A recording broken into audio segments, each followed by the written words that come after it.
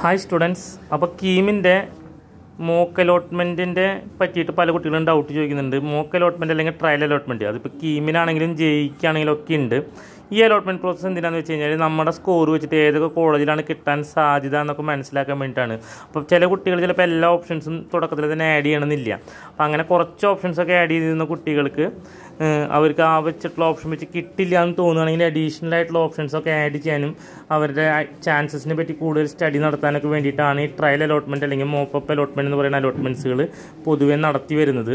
അപ്പോൾ നമ്മൾ ശ്രദ്ധിക്കേണ്ട ഒരു കാര്യം നമ്മൾ ജോയിൻ ചെയ്യാൻ ഉദ്ദേശിക്കുന്ന കോളേജസ് മാത്രമാണ് അലോട്ട്മെന്റ് പ്രോസസ്സിൽ പങ്കെടുക്കാൻ പാടുള്ളൂ. അതല്ലാതെ ഒരു കോളേജസ് നമുക്ക് അലോട്ട്മെന്റ് കിട്ടി കഴിഞ്ഞിട്ട് നമ്മൾ ഫീസ് അടച്ചില്ലെങ്കിൽ നമ്മൾ ടോട്ടൽ അലോട്ട്മെന്റ് പ്രോസസ്സിൽ നിന്നാണ് പുറത്താവുന്നത്. അപ്പോൾ ആ ഒരു കാര്യം നിങ്ങളുടെ ശ്രദ്ധയിൽ എപ്പോഴും വേണം.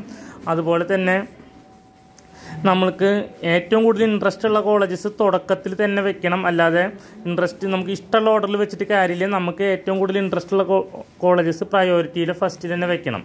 ഓക്കെ അപ്പോൾ ഇമ്പോർട്ടന്റ് ഡേറ്റ്സ് എന്ന് പറയുമ്പോൾ September പത്തൊമ്പതിനാണ് last date of option registration trial allotment പതിനെട്ടാം തീയതി വരും.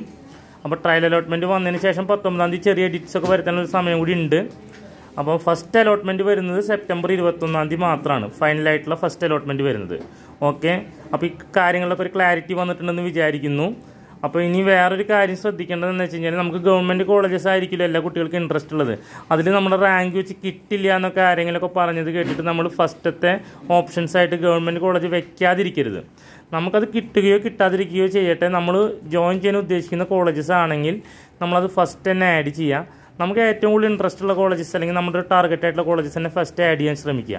ഓക്കെ അപ്പോൾ കാര്യങ്ങൾക്ക് ഒരു ക്ലാരിറ്റി വന്നു വിചാരിക്കുന്നു. താങ്ക്